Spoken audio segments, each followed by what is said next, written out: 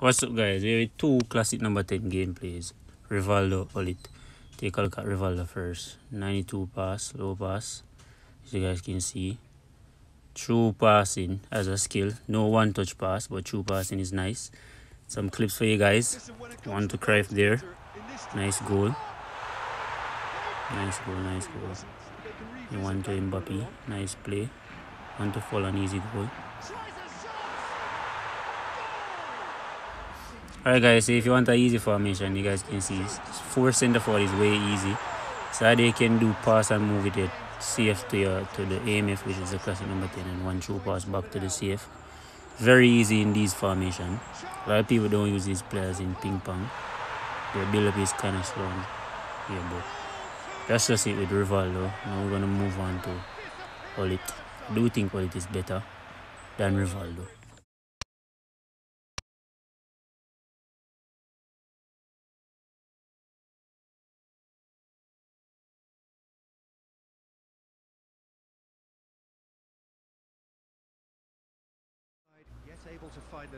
Alright guys, so all it it's me it's basically passing. I don't really score it AMF. I just use AMF to pass like a one through ball and so on. So it's basically passing. His passing is OP. Some lovely true pass, one touch pass and so on. I, I, I would rather him over Rivaldo because the extra skill, one touch pass. Rivaldo don't have one touch pass. I really love player with one touch pass and true pass. AMF. I really love AMF with one touch and true pass skills. But hope you guys enjoyed the video. Leave a like, comment, share.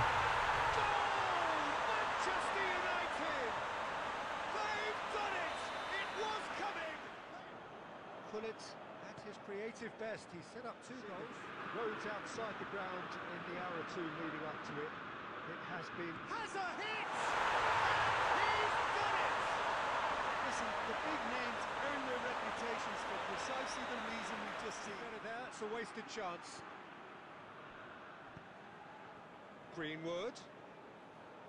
Alright guys, thank you guys for watching. I do like Gullit, he's very OP. I do like him. But if you guys made it this far the video, please comment Gullit so I can know that you made it this far. You watch the video till the end, you are supporting. Comment Gullit if you made it this far. And a trademark move ends with the inevitable classy finish. Manchester United are such an